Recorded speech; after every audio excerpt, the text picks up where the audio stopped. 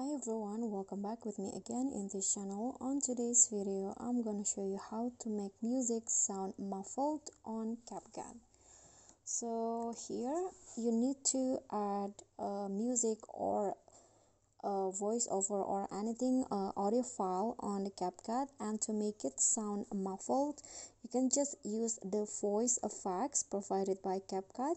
So just click on the music or audio that you add and then go to voice effects and in here uh, to make this uh, sound the music sound muffle there are three options that you can use under the retro category here. You can use the megaphone lo-fi or vinyl uh, voice effect. So you can just try it out one by one.